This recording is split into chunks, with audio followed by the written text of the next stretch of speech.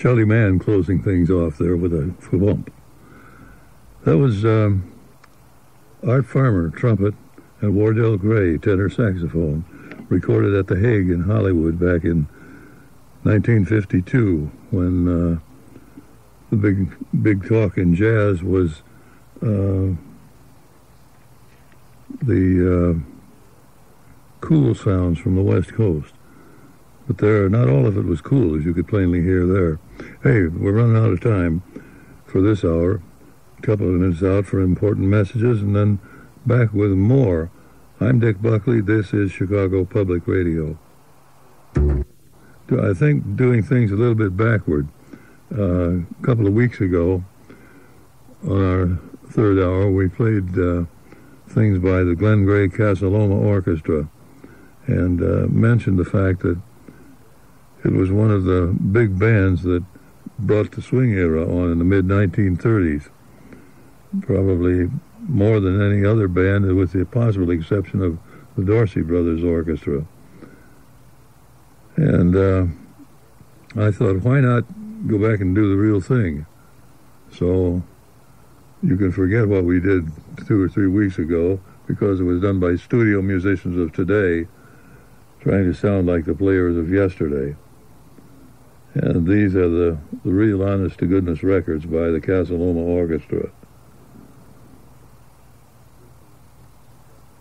This is the Casa Loma theme song, which features uh, the trombone.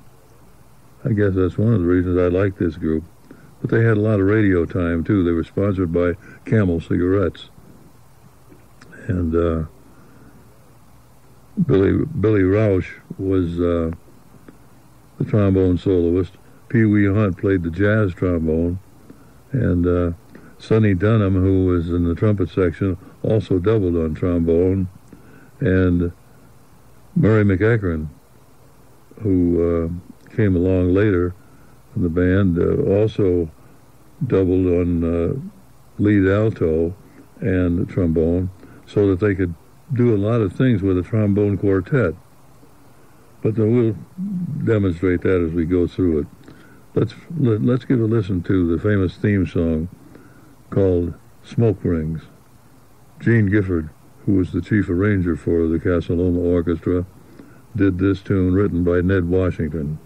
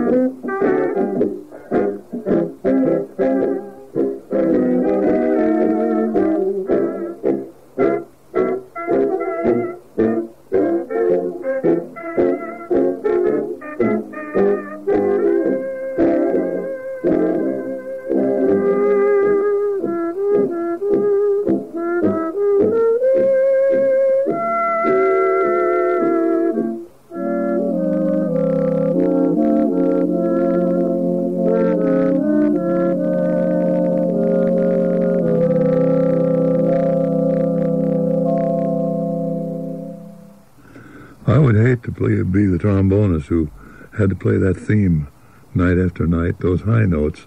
Uh, well, you sit there and worry about it, and uh, probably give you more trouble than it would normally. That was the theme song of the Casa Loma Orchestra, Smoke Rings. The uh, orchestra was named, they were opening a new dance hall, and uh, they were going to call it the Casa Loma Orchestra, and the uh, the the uh, band was named after the dance hall.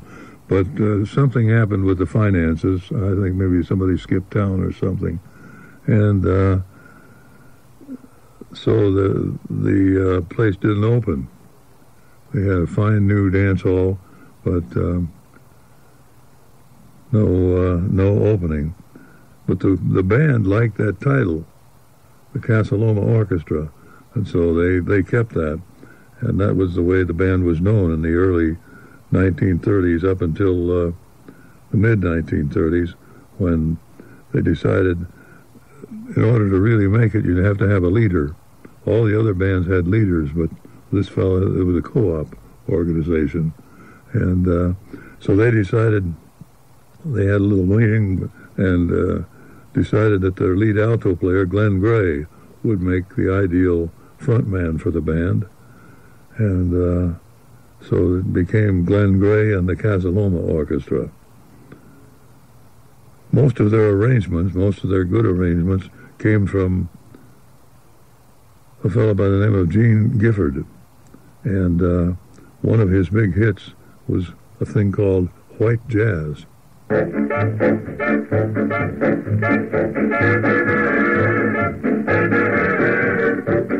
you.